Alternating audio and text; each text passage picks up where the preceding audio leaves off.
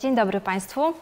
E, bardzo mi miło z Państwem się dzisiaj tutaj e, spotkać. Mm, e, z przyjemnością przyjechałam z Zakopanego na majówkę do Sopotu. Jest to odmienne doświadczenie. Bohaterem dzisiejszego spotkania będzie Władysław Hasior i jego notatnik fotograficzny. Dlatego notatnik fotograficzny, ponieważ właściwie od tej części spuścizny Władysława Hasiora zaczęła się reinterpretacja jego dorobku e, mniej więcej jakieś właściwie 10 lat e, temu. Ale zanim o samym notatniku fotograficznym, parę słów o Władysławie Hasiorze, bo być może Państwo mm, chcieliby się czegoś dowiedzieć z jego życiorysu, albo też nie do końca kojarzą wszystkie fakty związane z Władysławem Hasiorem, to kilka słów przypomnienia. E, mianowicie artysta, którego widzą Państwo na zdjęciu, urodził się w 1928 roku w Nowym Sączu, zmarł w 1999 roku w Krakowie, ale właściwie całe swoje twórcze życie e, związał z Zakopanem, ponieważ e, do Zakopanego przyjechał w 1946 roku, czyli tuż, tuż po II wojnie światowej, do szkoły. E, jak sam mówił, nie do końca wiedział, do jakiej szkoły on jedzie, natomiast został wysłany przez e, mm, dobrych ludzi, którzy e, chcieli mu pomóc w uzyskaniu wykształcenia. W związku z tym postanowili go wysłać do szkoły do Zakopanego. Wówczas ta szkoła nazywała się Szkoła Przemysłu Drzewnego i miała uczyć między innymi rzemiosła obróbki drewna, snycerki. E, więc Hasior jechał z zamiarem uczenia się takich bardzo praktycznych, e, pozyskiwania takich bardzo praktycznych umiejętności obróbki drewna, ale los chciał, że e, szkołę tę rozpoczął razem z reformą, którą zaczął przeprowadzać Antoni Kenner, wybitny pedagog, również artysta, rzeźbiarz. E, który do Zakopanego powrócił e, po wojennej emigracji e, i powrócił właśnie też do szkoły po to, żeby ją też zmodernizować i przekształcić w liceum technik plastycznych. I właściwie po latach Hasior wspominał, że dopiero kiedy pierwszy raz pojechał na wakacje, po pierwszym roku nauki e, okazało się, jak to on mówił, nastąpiła pełna demaskacja tego, co robię w Zakopanem, ponieważ na świadectwie było napisane Liceum Technik Plastycznych. E, I w tamtym czasie Hasior też intensywnie trenował e, biegi, lekką atletykę e, i te biegi zaprowadziły go na studia do Warszawskiej Akademii Sztuk Pięknych, ponieważ Hasior z jednej strony wiedział, że chce być rzeźbiarzem, że chce być artystą, a z drugiej strony potrzebował źródła utrzymania, a to źródło gwarantowały właśnie zawody sportowe i tylko Akademia Sztuk Pięknych w Warszawie gwarantowała takie stypendium sportowe, z którego Hasior mógł się utrzymywać. E, w związku z tym jednocześnie studiował, ale też e, trenował e, biegi i też całkiem niezłe wyniki w tym osiągał. Mm, w związku z czym Muzeum Tatrzańskie co roku, teraz w czerwcu, będzie znowu organizować bieg Hasiora. Ten bieg ma dystans 5 km, można się zapisać. Jest kategoria dla artystów i dla muzealników, także jest pełno spektrum do, które, do którego można się przypisać. Zachęcamy. Natomiast e, po skończonych studiach w Warszawie e, Hasior wrócił do Zakopanego na zaproszenie właśnie swojego nauczyciela Antoniego Kenara, który wówczas już bardzo chory przyczuwał, że szkołą będą musieli się zająć jego uczniowie, w związku z tym powoli ściągał tych, którzy tą szkołę kończyli, do tego, żeby sami zaczynali uczyć kolejne pokolenia. E, Hasior zresztą też namawiał swoich kolegów, między innymi e, Stanisława Kulona, żeby także po studiach w Warszawie wrócił do Zakopanego. Podobno dzwonił do Stanisława Kulona i mówił, Staszku, wracaj z tej Warszawy, co to będziesz tam robił w tej Warszawie? Przecież będziesz tam jednym z 33 rzeźbiarzy, a w Zakopanem będziesz drugi po mnie. E, Kulon nie skorzystał, ostatecznie został w Warszawie, natomiast Hasior przez 10 lat uczył w Liceum Technik Plastycznych i te lekcje zapisały się w pamięci uczniów. Uczył rzeźby, ale robił to w niezwykły sposób, ponieważ on sam jeszcze na studiach notował, że niespecjalnie podobają mu się lekcje czy też zajęcia, na których kopiuje się E, jakąś rzecz z natury, uważał, że to, co istnieje w naturze, ma już 100% energii, w związku z tym nie ma sensu powtarzanie tego, co się widzi, ale interpretowanie tego. Dlatego też e, w trakcie swoich e, zajęć z uczniami starał się ich wytrącić z takiego bardzo schematycznego myślenia i na przykład Zapraszał ich do lasu z prześcieradłem, świeczkami, lampami, jakimiś latarkami. E, to było nocą e, i oni na ten ekran z prześcieradła mieli łapać e, różnego rodzaju owady, a potem w pracowni te owady obserwować pod lupą. I Hasior w swoich notatkach zapisuje sobie wówczas, mówi, że po tym ćwiczeniu on wie, który uczeń jest naturalistą, realistą, a który rzeczywiście ma ten kapitał poezji, jak to Hasior nazywał, ponieważ e, po tych obserwacjach Hasior prosił ich o wykonanie swoich własnych owadów i część z nich rzeczywiście e, starała się odwzorować to, co zobaczyła, a część składała z tych elementów, które zobaczyli, e, zupełnie nowy kształt, nową jakość.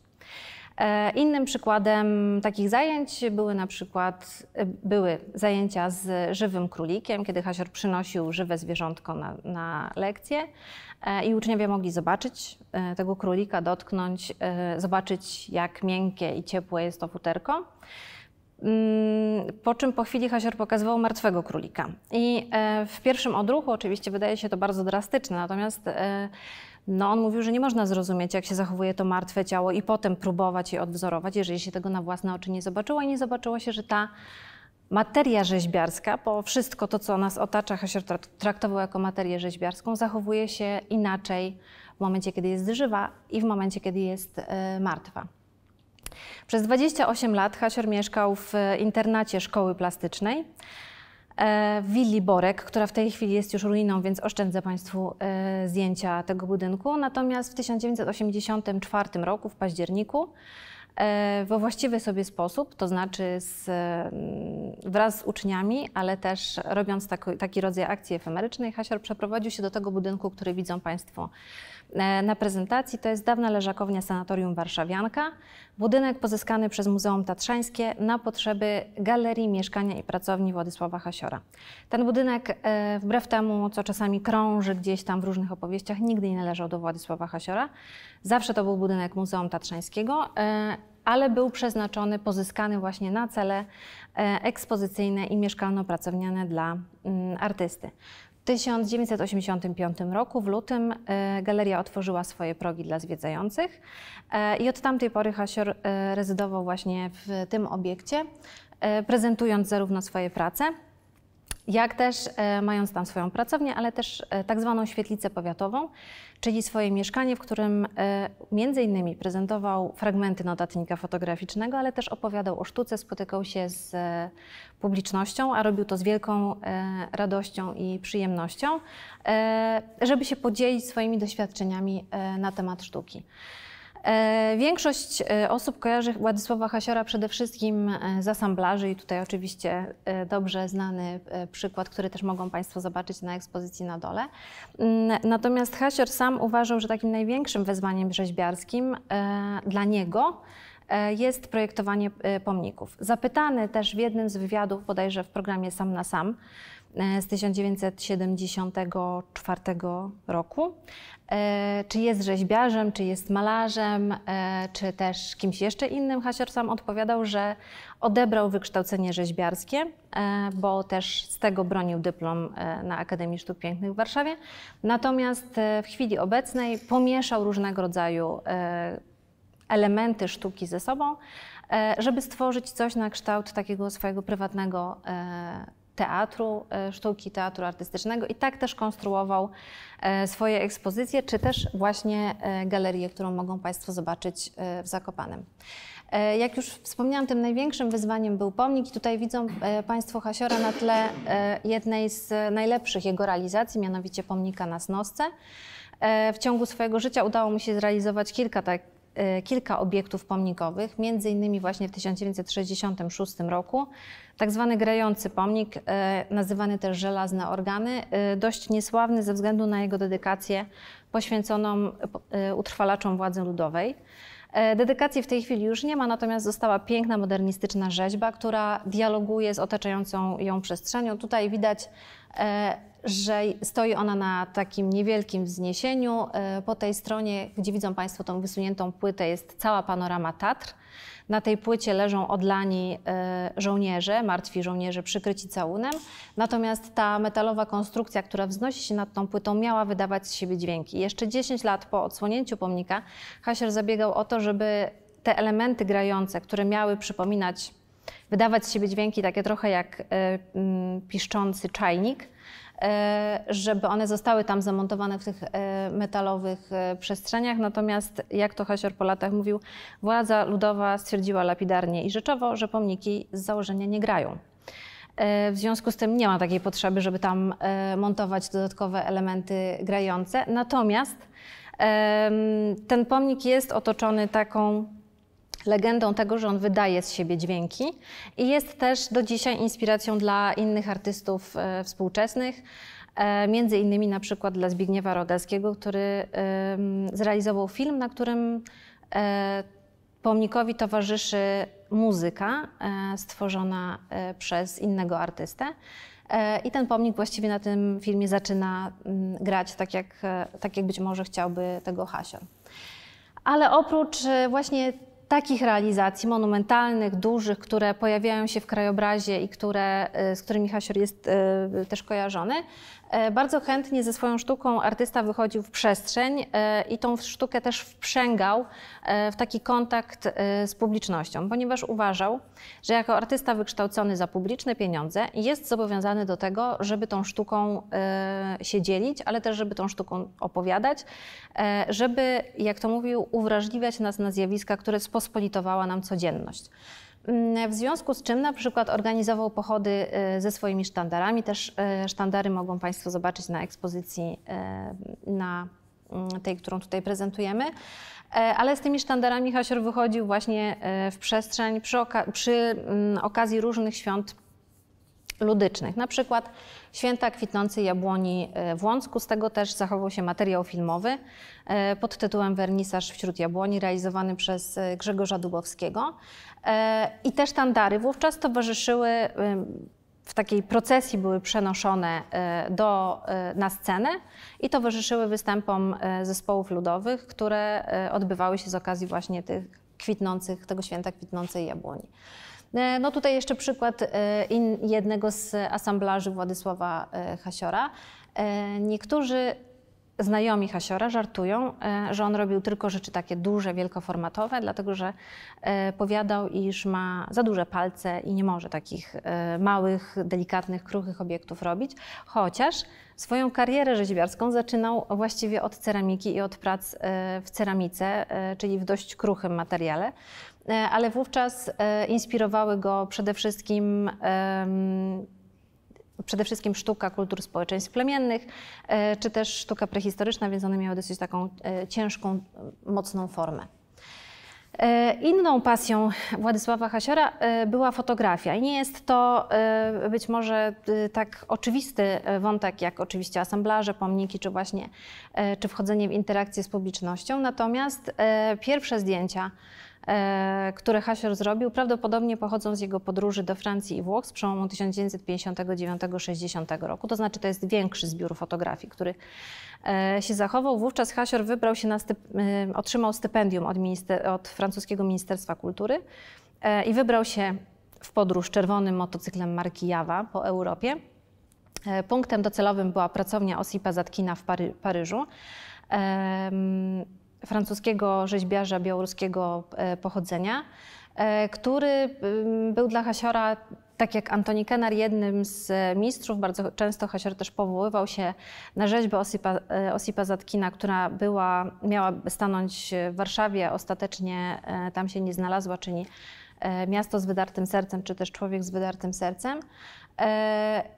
I tak jak e, już wspomniałam, już w tamtym czasie Hasior zaczął e, wykonywać e, dokumentację. Także szkicował, także notował sobie w swoich pamiętnikach to, co zobaczył, czy to, co go zainteresowało, natomiast wtedy pojawiła się już fotografia. I fotografował różne rzeczy, bo e, zarówno architekturę, e, jakieś elementy e, sztuki, ale też czasami swoje obiekty, tak jak tutaj widzimy fragment pomnika Koszalińskiego, ale też czasami zdarzało mu się fotografować reprodukcje z książek, które go w jakiś sposób zainteresowały, czy też różnego rodzaju rzeźby, artefakty znajdujące się w przestrzeni publicznej. A niekoniecznie to musiały być e, koniecznie mm, takie celowe, e, estetyczne wytwory rąk ludzkich, ale mogły to być też e, konstrukcje, które Hasiorowi wydawały się interesujące z punktu widzenia rzeźbiarza, bo przedstawiające jakąś interesującą, czy to zgeometryzowaną, czy też ekspresyjną formę co tutaj widać, bo to są wszystko zdjęcia właśnie z notatnika fotograficznego Władysława Hasiora.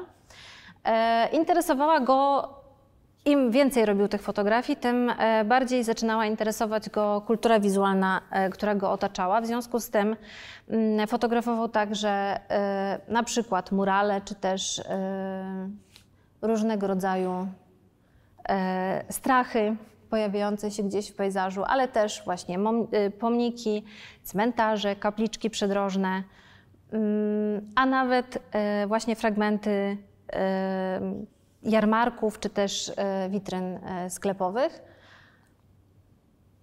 ale też przejawy tego e, takiego estetycznego zamiłowania, które gdzieś drzemie w człowieku, które często, przez, często jest określane mianem kiczu, natomiast Hasior bardzo nie znosił tego określenia. Zakazywał używania go w swoim mieszkaniu, natomiast mówił, że to jest sztuka plebejska, czy też nowy, nowa forma sztuki ludowej, ponieważ e, Hasior twierdził, że ta sztuka ludowa, którą znamy z muzeów etnograficznych, e, w pewnym momencie ona umarła i skończyła się, natomiast właśnie nową sztuką ludową jest to, co często w taki lekceważący sposób jest określany mianem e, kiczu, a wynika właśnie z takiej naturalnej potrzeby e, estetyzowania, która w człowieku drzemie. E, część z tych rzeczy, które Hasior fotografował i gromadził właśnie w notatniku fotograficznym, stanowiła inspirację dla jego własnych prac. I na przykład tutaj widzą Państwo chochoły, czy też strachy na wróble, które szalenie Hasiora interesowały. On widział w nich nie tylko E, mm, takie postacie człowiekokształtne, ale przede wszystkim właśnie formy rzeźbiarskie, czy też w ogóle asamblaże, ponieważ konstruowane były one, jak tu widać dokładnie na przykładzie tych kaloszy, z różnych gotowych e, materiałów i często stanowiły punkt wyjściowy dla jego własnych e, prac. Tutaj widzą Państwo właśnie jeden z obiektów Władysława Hasiora. E, ale tak jak już wspomniałam, interesowała go też ta strona e, wizualna polskiej i nie tylko polskiej e, rzeczywistości. I oprócz tego, jak Państwo widzą, że Hasior fotografuje różnego rodzaju tablice, czy też propagandowe, czy też z hasłami propagandowymi, bądź też właśnie takie tablice reklamowe, to tutaj w tle widać jego samochód, którym poruszał się po kraju i też często poza, i też poza granicami kraju. E, tu na tym zdjęciu się akurat on znalazł i ja się nie znam za dobrze na samochodach, wiem, że był zielony. E, w każdym razie, e, oprócz tego, że Hasior właśnie podróżował tym autem i to auto też było świadkiem tego fotografowania, e, to ten notatnik fotograficzny, gromadzony właściwie e, właśnie od początku lat 60., pani Hanna Kirchner, badaczka twórczości Hasiora, wspomina, że po raz pierwszy spotkała się właśnie ze slajdami e, Hasiora gdzieś w połowie lat 60., kiedy po raz pierwszy odwiedziła jego pracownię w Zakopanem i wówczas Hasior, opowiadając jej o swojej sztuce, posiłkował się właśnie slajdami, które potem gromadził właśnie e, w takich kołowrotkach do rzutnika e, karuzel, fotografując, e, jak Państwo widzą, bardzo różne przejawy. To akurat przejawy kultury wizualnej, akurat z zagranicy. Mm, o, tutaj jeszcze hasior podróżujący. Generalnie tych zdjęć jest ponad 20 tysięcy. Mm, Hasior skrupulatnie te zdjęcia e, gromadził e, w cykle. Tutaj widzą go Państwo w jego mieszkaniu w pracowni Borek, w otoczeniu właśnie i książek, e, i jego magnetofonów, ale też obiektów asamblaży. Tak wyglądał warsztat pracy z tymi slajdami. E, ponieważ to zbiór 20 tysięcy przeźroczy. W związku z tym e, Hasior, fotografując te różne interesujące go rzeczy, zaczynał je grupować w cykle. To były cykle tematyczne, jest ich około 400, 393 bodajże dokładnie. I żeby właśnie mm, pracować nad narracją poszczególnych cykli, to rozkładał te slajdy właśnie na takich planszach. E, ponieważ zorientował się, że przy pomocy tych cykli właśnie można e, opowiadać e, o sztuce, o źródłach jego inspiracji, o tym, co go interesuje, ale o tym też, w jaki sposób można interpretować sztukę, o tym też, że sztuka nie powstaje w próżni, tylko że jest inspirowana zarówno przeszłością, jak i teraźniejszością. I bardzo często i bardzo chętnie właśnie e, pokazywał te slajdy e, zarówno u siebie w mieszkaniu, e, tym w willi Borek, który tutaj Państwo widzą, ale też tym w Galerii Hasiora, które, którą to Państwo widzieli na pierwszym slajdzie. Ci, którzy uczestniczyli w takich spotkaniach, opowiadają, że był to swego rodzaju rytuał, ponieważ Hasior spotykał się z grupami bądź to sanatoryjnymi, bądź też e, uczniów, studentów, e, też innych artystów. Najpierw zapraszał do swojej kuchni dwie osoby do tego, żeby mu pomogły zrobić herbatę w filiżankach. Następnie tą, niektórzy twierdzą, że słodką, Inni twierdzą, że z domieszką alkoholu. E, no są różne wersje. E, tą herbatą częstował e, osoby obecne mm, na takim spotkaniu i prosił o wybranie mm, tematu, który chcieliby, na który chcieliby usłyszeć taką pogadankę, wykład. Stąd też te spotkania były często określane mianem kina Hasiora i wówczas Hasior włączał rzutnik, Włączał też często magnetofon e, marki Unitra i nagrywał też e, te spotkania. E, stąd też możemy się domyślać właśnie, jaką narrację miały te poszczególne cykle tematyczne. No w momencie, kiedy wybrano już cykl, a były różne kapliczki, cmentarze, pomniki, tych na temat pomników było bardzo dużo, bo szczególnie go interesowały także ze względu na jego zawód, ale także sztuka. Jest też taki cykl Człowiek kobieta, człowiek, zwierzę.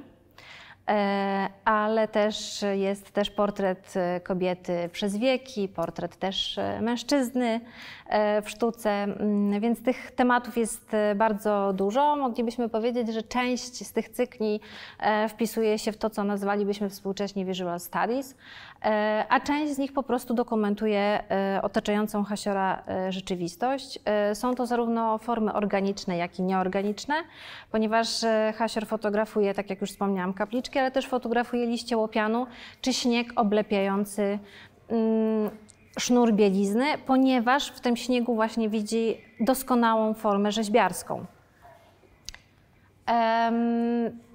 Z racji tego, że to repozytorium było szalenie duże, e, to chociaż zaczął być z nim zapraszany także na wykłady do e, innych instytucji, a często też te wykłady towarzyszyły jego wystawom e, zarówno w kraju, jak i za granicą.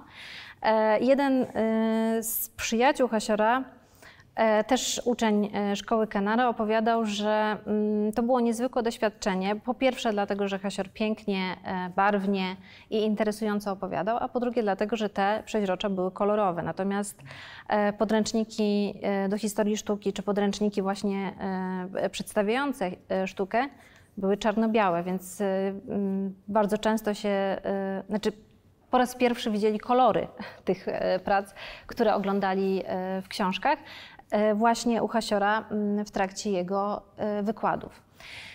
Mniej więcej w połowie lat 80. też fragmenty notatnika fotograficznego trafiły, można powiedzieć, pod strzechy za sprawą czasopisma Nowa Wieś. To czasopismo powstało jeszcze przed II wojną światową, było wydawane jako taki periodyk dla młodzieży, e, który miał polemizować e, z wówczas ukazującymi się wiciami. Zostało wznowione w 1948 roku. E, gdzieś w latach 60. przekształciło się w taki magazyn ilustrowany dla młodzieży z niewielkich miasteczek i też ze wsi. A właśnie w połowie lat 80. Hasior dostał swoją rozkładówkę właśnie w tym czasopiśmie Nowa Wieś i publikował fragmenty Mm, właśnie swojego notatnika ze swoim e, autorskim komentarzem, właśnie wyjaśniając e, publiczności e, to, co mogą zobaczyć na zdjęciach i dlaczego te zdjęcia wydały mu się interesujące. Tutaj to wszystko fotografie właśnie z repozytorium hasiorowego. I teraz oprócz tego właśnie dodatnika, czyli tych 20 tysięcy zdjęć. Muzeum Tatrzańskie oczywiście posiada też inne archiwalia związane z Władysławem Hasiorem w wielkiej liczbie, bo to jest e, około 2000 zdjęć analogowych, ale także dokumenty, listy, e, różnego rodzaju e, zapiski hasiorowe, pamiętniki, też przedmioty osobiste. E, no i powoli staramy się, e, oprócz oczywiście asamblaży i rysunków, czyli tych takich e, obiektów, które zaliczamy do dzieł sztuki i oczywiście powoli próbujemy opracowywać tą spuściznę, którą Hasior na mocy testamentu przekazał do Muzeum Tatrzańskiego i stąd pomysł na to, żeby zacząć publikować te zdjęcia e, Władysława Hasiora, e, ale z współczesnej e, perspektywy. Trochę odnosząc się i w jakiś sposób bazując na doświadczeniach z czasopisma Nowa Wieś, a trochę też patrząc na nie w sposób krytyczny, ale nie krytykancki. Stąd też pomysł na magazyn Notwot, ponieważ gdzieś w głębi serca czuliśmy, że wydanie 20 tysięcy zdjęć jest w stanie przytłoczyć nawet najbardziej zapalczywych miłośników twórczości Władysława Hasiora. E, w związku z tym e, doszliśmy do wniosku, że najlepiej będzie to robić właśnie w formie e, takiego magazynu, którego ukazało się dziewięć zeszytów. Za ten magazyn odpowiadał zespół e, redakcyjny w składzie Łukasz Gorczyca, Błażej Pindor, e, Sylwia Serafinowicz, Asia Trzynadel-Kola-Śliwińska i ja. E, I kierując się też tym, co sam Hasior nam podpowiadał, staraliśmy się publikować slajdy, poszczególne cykle, układając je też tematycznie. To znaczy zbieraliśmy te, które wydawały nam się jakoś blisko siebie mm, semantycznie, i opatrywaliśmy je też e, komentarzem współczesnych badaczy, badaczek, e, tak żeby przybliżyć tą twórczość Hasiora, ponieważ e, no nie możemy usłyszeć głosu Hasiora, który towarzyszy tym zdjęciom, w sensie nie da się przyporządkować wszystkich taśm z wykładów Hasiora, które zachowały się w naszym archiwum do wszystkich cykli. Mm, I tutaj widzą Państwo spis treści jednego z numerów. Mm, każdemu, tu, tu są poszczególne rozkładówki, e, Każdemu e, takiemu numerowi towarzyszyła też kontrybucja artystyczna, e, bo staraliśmy się też pokazywać właśnie te zdjęcia hasiorowe w kontekście współczesnych działań artystów, no powiedzmy z pokolenia hasiora, ale także tych młodszych na wskroś E, teraz obecnych właśnie w naszej e, współczesnej e, sztuce. I w związku z tym też te zdjęcia stały się inspiracją dla innych artystów, między innymi dla jednego z obecnie wystawiających w polskim pawilonie w Wenecji. On, e, Juri stworzył cały cykl właśnie w oparciu e, o te fotografie z notatnika, foto, e, z notatnika fotograficznego Hasiora. Mm, zrobił swoje montaże cyfrowe tych zdjęć, dokonując takich bardzo niewielkich przesunięć właśnie w tych hasłach propagandowych, które Hasior z taką wielką radością i zapałem mm, fotografował. E, na końcu każdego numeru e, mogą Państwo zobaczyć e, zestawienie wszystkich zdjęć z, danego, z danych cykli, które ukazywały się mm, w takim magazynie, właśnie w formie takich slajdów, żeby też dać wyobrażenie o tym, jaka to jest, jaki to jest duży zasób. Często te zdjęcia się powtarzają w poszczególnych cyklach, ponieważ, mm, tak jak już pokazywałam tutaj na wcześniejszym slajdzie, Hasier tymi cyklami właściwie pracował do śmierci. E, i stąd też tak trudno jest przyporządkować jego wypowiedź do określonego cyklu, ponieważ on nie zmieniał po prostu w międzyczasie, dokładał jakieś zdjęcia, przekładał, coś jeszcze sfotografował, w związku z tym e, to się czasami właśnie w tej narracji e, pojawiało i dlatego się nie do końca E, czasem zgadza. Jak różny to jest materiał, to e, mogą się tu już Państwo e, zorientować. Ciekawostką jest też to, że czasami pojawiają się fotografie, takie jak ten tutaj ziemniak, które potem pojawiają się też e, u innych artystów, na przykład u Andrzeja Tobisa, e, współczesnego twórcy, który realizuje cykl AZ, czyli e, cykl zdjęć do słownika polsko-niemieckiego, niemiecko-polskiego.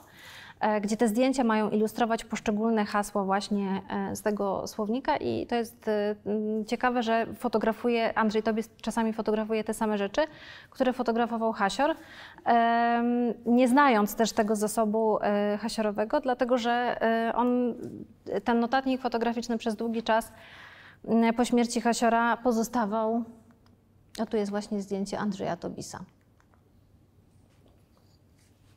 Tu są.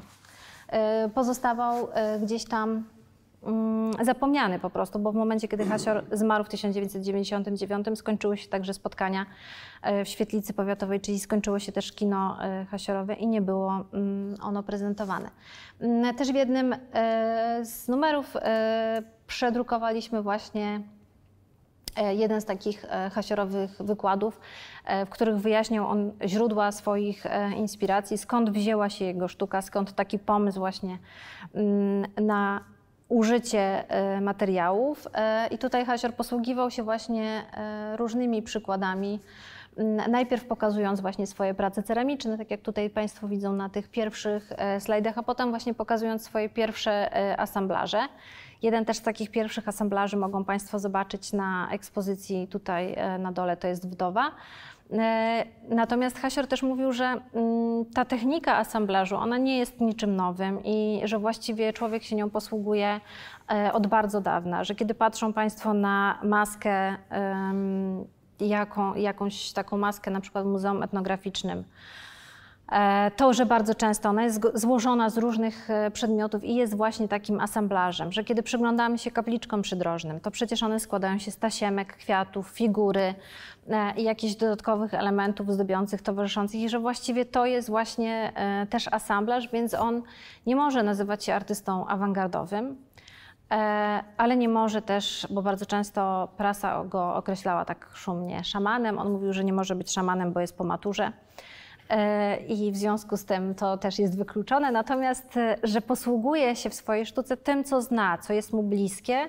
E, w jednym z wywiadów też mówił, że on ma świadomość tego, że siekier nie nauczy pływać, a diabeł tkwi w szczegółach mm, bo to wszystko jest mu znane po prostu od dzieciństwa. Też w pierwszej biografii poświęconej Hasiorowi z 1900, z początku lat 60. Andrzeja Banacha, Andrzej Banach zaczyna tą opowieść o Hasiorze od tego, skąd Hasior jest. To znaczy, że pochodzi z Nowego Sącza, e, że w związku z tym doskonale zna legendę o świętej Kindze e, i o tym, jak wielką moc magiczną też mają przedmioty, że one mogą się przekształcać, zmieniać, ponieważ w tej legendzie jest mowa o tym, że święta Kinga rzuca grzebień i z tego grzebienia wyrastają góry, że odrzuca wstążkę i z tej wstążki powstaje rzeka i że to są elementy, które kształtowały wyobraźnię właśnie tego młodego artysty. E, w związku z tym dla niego naturalne jest właśnie używanie tych przedmiotów w zupełnie nowych kontekstach i tworzenie z nich e, zupełnie nowych e, światów. A wszystko to po to, żeby, jak Kasior mówił, obudzić prywatny kapitał poezji, który tak głęboko uśpiony jest właściwie w każdym odbiorcy. Ale też Hasior mówił, że jeżeli się to Państwu nie podoba, nie trzeba szukać usprawiedliwienia. E, więc z jednej strony przekonywał do swojej sztuki, a z drugiej strony e, zachęcał też do tego, żeby podchodzić z otwartą głową, e, ale że nie wszystko się musi podobać. Ważne natomiast, żeby e, poruszało i zostawiało jakiś ślad, składało do namysłu, skłaniało do namysłu, mm, do tego, żeby e, poszukać e, głębiej, żeby się przyjrzeć właśnie pod różnymi kątami temu, co się widzi. I temu też służyło gromadzenie właśnie tych 20 tysięcy slajdów.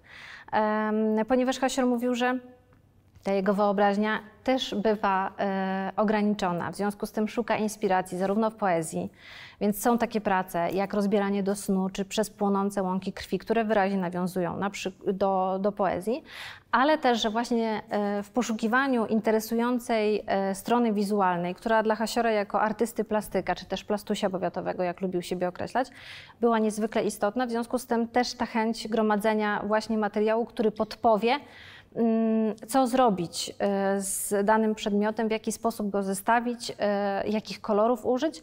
E, stąd też gromadzenie takiego mm, zasobu, który z czasem stał się równoprawnym dziełem, przy pomocy którego też Hasior mógł się komunikować z odbiorcą, tak jak próbował się komunikować przy pomocy asamblaży czy innych swoich działań. No takich właśnie zdjęć, gdzie one... To właśnie to tak, bo one są niektóre te zdjęcia bardzo szokujące. Takie y, te zestawienia, na przykład są zestawienia reklam y, napoju. Y, nie wiem, czy jak nagrywamy, to mogę to powiedzieć, markę tego napoju. W każdym razie one były dosyć charakterystyczne, bo takie mocno agresywne i one były na przykład zestawiane, tam była też twarz mocno pomalowana na tych reklamach, one były zestawiane z, na przykład z takimi agresywnymi portretami Witkacego. Mm, więc on czasami na tych slajdach też pokazywał właśnie zderzenie tej wkraczającej popkultury, właśnie tego, y, tej reklamy kapitalistycznej z sztuką, ale też pokazywał, że niektóre motywy, y, które się pojawiają na przykład w tych reklamach, one się pojawiały, nie wiem, na przykład w sztuce greckiej y, albo gdzieś w renesansie, że to wszystko się ze sobą łączy, jakoś przeplata i że człowiek dość swobodnie korzysta z tego, co było w przeszłości. E, I on to intensywnie punktował też często właśnie w tych e, swoich zestawieniach slajdów, co jest bardzo e, ciekawe i można rzeczywiście, jak się to ogląda, zachęcam, można sięgnąć, jest strona hasior.pl która już działa i tam e, mogą Państwo cały notatnik znaleźć i rzeczywiście się w to wsiąka, to znaczy jak się zaczyna oglądać te slajdy, to się je ogląda, ogląda. E, i one są czasami właśnie zabawne, czasami są straszne, bo wyskakują na przykład jakieś nagrobki zupełnie w, zupełnie kuriozalnej formie.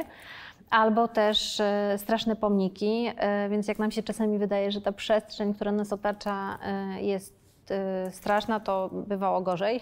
Można tak wnioskować po tych zdjęciach. E, a z drugiej strony, że bywa też bardzo zabawnie, bo e, poza właśnie takimi zestawieniami e, reklam czy różnego rodzaju strachów na wróble, które mają absolutnie fantastyczne formy właśnie. Są szalenie inspirujące też bo pokazują, e, że tylko wyobraźnia ogranicza. To pięknie się obserwuje dzieci przy takim procesie twórczym. Patrzę na Iwonę, bo pewnie ma z tym do czynienia przy dzieciach, e, że jak przychodzą i daje im się jakieś gotowe materiały, to po tym takim wyczekującym pytaniu, czy pani pozwoli, e, następuje właśnie ten taki wybuch nieokiełznanej wyobraźni i oni zaczynają realizować e, właśnie te zamierzenia hasiorowe, że bawią się tymi materiałami na różne sposoby, bo hasior też mówił, że te prace jego są najpierw wizualne, potem niosą jakieś treści. To znaczy, że on się najpierw zachwyca tą materią, e, jakimś kawałkiem blachy, czy plastiku, czy chociażby chleba, a dopiero potem to zaczyna układać się w jakąś całość, właśnie anegdotę, opowieść, właśnie najłatwiej opowiadać o tych e, pracach, mówiąc, że to są takie wizualne opowieści, że te poszczególne elementy trzeba traktować jak takie trójwymiarowe słowa, z których Hasior opowiada e, jakieś historie. E, Hasior jest, funkcjonuje w ramach instytucji. Ciekawostką jest też to, że on się zdecydował na to funkcjonowanie w ramach instytucji w pewnym momencie, właśnie po to, żeby zagwarantować bezpieczeństwo tych obiektów. Natomiast y, Zakopane jest jedną dużą pracownią. Oczywiście ta prasa ostatnio nie sprzyja, natomiast y, nie ma takiego przymusu, który, y, że musimy chodzić po krupówkach.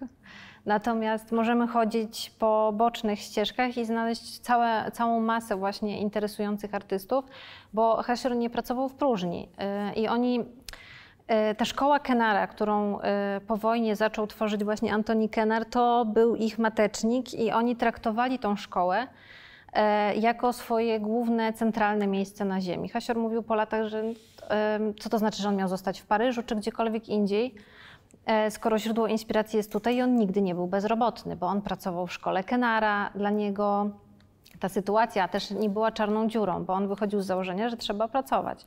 E, w związku z czym on miał tam kolegów, takich jak Tadeusz Brzozowski, Antoni Rząsa, Grzegorz Pecuch, Arkadiusz Waloch. Oni tam wszyscy ze sobą się znali, oni sobie robili korekty nawzajem. Kiedy Antoni Kenar umarł e, i oni zostali bez ojca, to mm, żona Grzegorza Pecucha opowiadała, że Grzesiu przyszedł, bo Grzesiu stracił ojca po raz drugi. I Hasior y, też tak traktował Antoniego Kenara i tak traktował go Antoni Rząsa. W związku z tym, jak on odszedł, y, to z kolei pani Anna Walo, która była dwuletnią dyrektorką BWA, opowiadała, że oni sobie nawzajem robili korekty, tak jak im robił Antoni. E, I on dzwonił do Arkadiusza i mówił, no to może byś Areczku przyszedł, bo zrobiłem jakiegoś gniota i tak, tak byś spojrzał, co z tym fantem zrobić, może byś go nazwał. E, jak Antoni Rząsa kończył swoją, e, swój dom i chciał zrobić swoją galerię, to prosił Władysława Hasiora, żeby ustawił mu rzeźby. To jest strasznie duży mm, kredyt zaufania, że powierza się te swoje prace, a Antoni Rząsa w ogóle nie sprzedawał obiektów, gdzie e, trzymał te obiekty u siebie w domu, bo uważał, że to są jego dzieci i absolutnie nigdzie ich nie sprzedawał, więc on oddaje te rzeźby we władanie innemu artyście, żeby on mu je ułożył. E, to była taka, e, bardzo dużo się mówi o Zakopanem do 1939 roku, oczywiście z Witkacy, Malczewski i ten taki tygiel właśnie awangardy przedwojennej, Boi Zamojski i tak dalej, i tak dalej. Natomiast to, co się działo w Zakopanem po wojnie jest równie inspirujące e, i Władysław Hasior nie jest też wyjątkiem tam, bo tam są i twórczynie wybitne, architektki, e, malarki, artystki, e, ale też i twórcy, którzy tam żyli, pracowali, wyposażali hotele, budynki użyteczności publicznej i te elementy w Zakopanem są. Także to nie ten niesławny biały miś na krupówkach jest interesujący i nie, na, nie o nim należałoby kręcić w kółko te materiały, tylko o tym, co można znaleźć w sklepie jednej z takich topowych marek polskich, bo tam stoją rzeźby Antoniego Kenara i polichromie e, Tadeusza Brzozowskiego, tam są do zobaczenia. E, I nie trzeba płacić biletu wstępu do muzeum, tylko można po prostu wejść e, i te obiekty zobaczyć. One są naprawdę wyjątkowej klasy. Jak się wejdzie do jednego z hoteli, tam się znajdzie rzeźby właśnie Władysława Hasiora czy Grzegorza Pecucha. A oni wszyscy mieli po prostu fach w ręku, więc nawet jak się pójdzie na cmentarz, to tamte nagrobki również mają formę e, rzeźb. I to jest też bardzo cenne w tym miejscu, że mm, to jest jedyny, to jedyny taki moment, żeby właśnie te rzeczy e, zobaczyć, bo ta sztuka funkcjonuje w przestrzeni publicznej i ona tam jest obecna. Mm, I to jest naprawdę bardzo przyjemne doświadczenie, kiedy się to odkrywa.